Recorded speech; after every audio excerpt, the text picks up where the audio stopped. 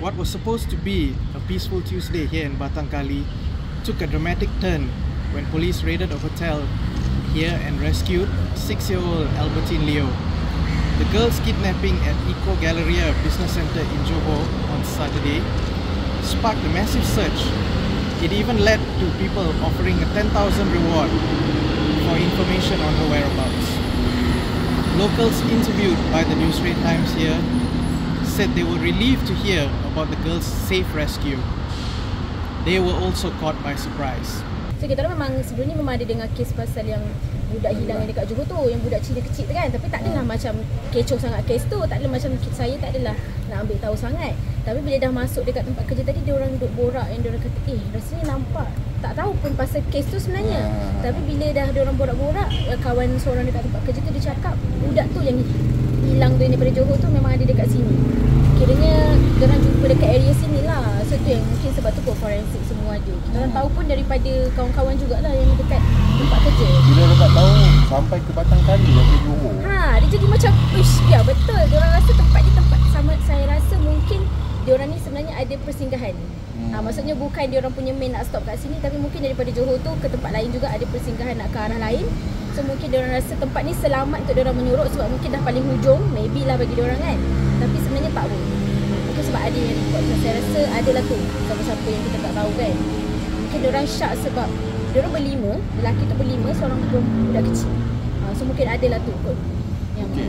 Tempat ni awak cakap safe sebelum ni. Tapi bila dengar macam ni Awak rasa gempar ke? Awak rasa macam Weh terkejut Uh, juga. Boleh jadi laluan kepada penjahat ke? Macam uh, tak safe dah kot rasanya. Sebab mana-mana pun sebenarnya tak tak safe pun sebab sekarang banyak kes pelik-pelik. So saya tak rasa mana-mana tempat pun safe. Kiranya mana-mana kita pergi pun memang tak boleh pun macam seorang ke tambah-tambah lagi budak-budak kecil. So nak kawasan yang safe tu tak ada dekat area-area sini memang tak ada.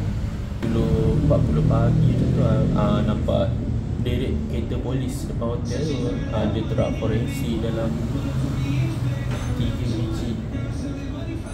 kereta polis satu truk forensik Ha. Lepas tu ada kereta, kereta biasa lah. Macam kita biasa. Ha. Tak pernah tengok tiba-tiba ada. Ha, dia ada, tak ingat ada kes apa lah. So saya masuk kerja pukul 11 pas. Tapi saya datang awal saya duduk dalam kereta dulu lah. Macam nak tengok apa jadi ha, So macam tak nampak apa-apa. Dan nak sebelah saya masuk lah dalam kerja Ha, Tapi nampak lah ada banyak. Ha, Nampak banyak polis lah kat situ Ha, ha. ha. Tapi bila tahu ada kes Pasal penemuan Ah, kanak-kanak tu Dapat tahu pun ah, lepas staff petang masuk Saya cerita ada polis Lepas tu dia bagi tahu ada ah, Memang ada kes culik Dia tengok kat Facebook lah Kan lah ah. Terkejut jugalah di Batang Kali pula Ha, tu lah. Dah sebab pernah tengok pasal berita budak tu kan. Kita pernah post. Ha, tahu-tahu punya budak yang kat Eco Park kan. Ha, ha, ha. Oh pernah pun juga Ha, pernah repost lah pasal kes budak dekat IG. Eh. Ha. Cuba bantu juga lah Ha. Tapi akhirnya Bila nampak selamat dekat sini pula Sebelah Ha, kedai lah. Dia kedai pula. Terkejut juga lah. Jauh Hmm, jauh pun. Daripada Johor sampai sini Tapi ada sebagai Sini risau tak Tiba-tiba pula ada orang culik sampai sini Di, di, di, di Batang Ha, tu lah. Uh, sebelum ni kes yang kat Tini kan kat Pulau Sekarang kes yang culik pula Hmm. macam lah hotspot kat lah sini Transport juga Ha. lah Austin Camuens from the Newsrate Times.